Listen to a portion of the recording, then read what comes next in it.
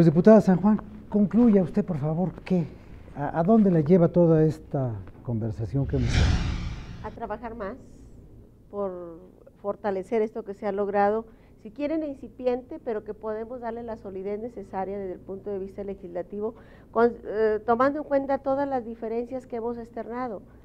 En Nueva Alianza hemos querido siempre, como nuestro, uno de nuestros ejes en nuestras iniciativas y propuestas y reservas, es fortalecer los órganos reguladores. Y aquí tenemos que estable, eh, fortalecer a la CONSAR, como bien lo mencionó el compañero Raya, y la CONSAR no, no, no vamos a esperar que dentro de dos años nos den los primeros eh, jubilados o pensionados cuentas individuales, ya los tenemos, por edad, por cesantía, etcétera, y ya nos estamos dando cuenta que algunas afores no están rindiendo lo que deben de rendir, no nos garantizan una pensión. Hay, Nueva Alianza va a transitar en este, en el siguiente paso, cómo fortalecer a la CONSAR. Y para el seguro de desempleo, cómo hacerlo en verdad como un pilar sólido para el trabajador que temporalmente queda con desempleo. No olvidemos que aprobamos una reforma laboral en donde se crearon la, la, flexibilidad laboral creando plazas de jornada por hora o de temporada. Y eso va a alargar más el tiempo para una pensión y va a crear más desempleos temporalmente. Entonces, ¿qué vamos a transitar por ahí? Nos falta mucho por hacer y en nuestro partido lo vamos a seguir haciendo el tiempo que estemos aquí. Gracias. Eh, diputada Loreta Ortiz. Pues es, en, yo desearía que no se aprobara en la Cámara de Senadores, que está una iniciativa de reforma constitucional que está congelada precisamente por todos los cuestionamientos que, este, que se originó en el planteamiento de este seguro de desempleo, en la pensión universal todos estamos de acuerdo, en aras precisamente de garantizar el derecho a la vivienda, que tiene la misma jerarquía que el derecho al seguro al desempleo y que se meditara, remeditara por un sistema que garantizara efectivamente el seguro al desempleo, o sea, el derecho a, a, tener esta prestación, acompañado de garantizar el derecho a la, a la vivienda. Muchas gracias. Eh, diputada Luisa María Alcalde.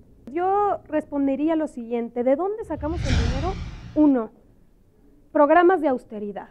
Dos, bajar el salario de los de los altos funcionarios, empezando por nosotros. Y la tercera, que tengo la varita mágica, cerrarle la llave a la corrupción. Si realmente eso pudiésemos hacer, estaríamos planteando cosas muy distintas. Veo que por supuesto no es la intención del gobierno federal. Ojalá y con más tiempo los senadores se den el tiempo de buscar otra alternativa para financiar el seguro de desempleo y para que realmente sea una prioridad y destinarle recursos a la pensión universal y sea una pensión digna. Muchas gracias. Diputado, bueno, sus conclusiones, por favor.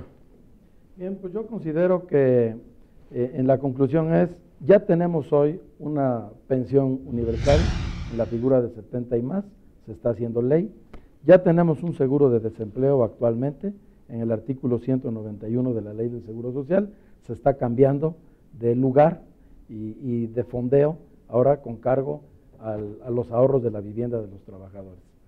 Las leyes tendrán que ir evolucionando, como va a suceder seguramente con un nuevo diseño que hagamos del sistema fiscal y tributario de nuestro país para que mejor alcance y se incentive el crecimiento, el desarrollo económico y la generación de empleos.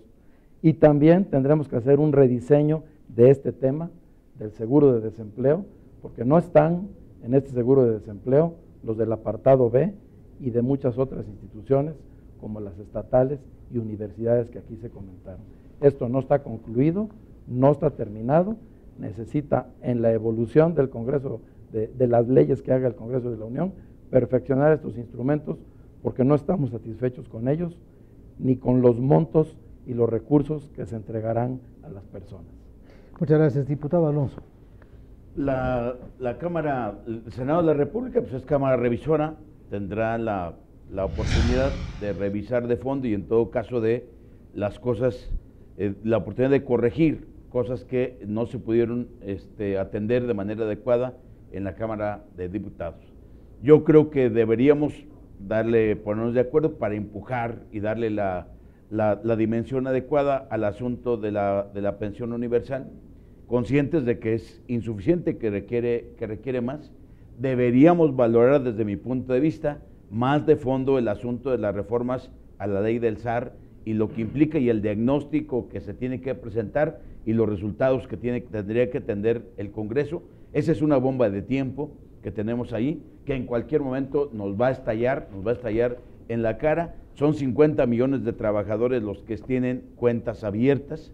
Las AFOR están manejando de ellos 2 billones de, pesos, un billón de pesos, por cierto, el gobierno, el gobierno federal en deuda, y por lo tanto, y con un conjunto de repercusiones y de minusvalías que se han venido, este, impactando, creo que deberíamos valorar más en serio eso y darle más importancia a la comisión que se plantea que haga el diagnóstico para efectos de que el Congreso tenga elementos de reforma seria, no, no necesariamente ideológica. Y el seguro de desempleo creo que debiera buscarse la manera de cómo rediseñarse para que fuera un instrumento que realmente sirviera a todos los trabajadores. Muchas gracias. Pues eh, usted termina el programa, diputado. La realidad es la que debe nutrir eh, la ley, entre otros aspectos. La realidad del país es una situación franca de desigualdad y que me parece, en principio, hay la prioridad de apoyar a quien no tiene ningún ingreso. Lo digo con absoluto, con absoluto respeto. Apartado B, trabajadores de los poderes de la Unión. Yo creo que allí estaría justamente la disciplina, la austeridad y la racionalidad en el ingreso. Y la otra, abandonar la demagogia de dar sin buscar la fuente o el origen de ese dar. Hay que generar equilibrios. Repito, el ingreso es impuestos, petróleo o deuda. Plantear, alimentar sistemas de seguridad social sin una fuente de financiamiento objetiva es ir hacia el fracaso, quitándole a otras políticas fundamentales de este país. Respeto a la ley, inversión productiva, pero también políticas responsables. Vamos por ese camino y por allí el Partido Verde Ecologista continuará siendo propuesta. Vamos a seguir aportando. Gracias por la invitación. Muchas gracias y gracias a usted por habernos acompañado. Ya escuchó, usted es protagonista de esta historia, lo sepa o no lo sepa. ¿eh? Muchas gracias.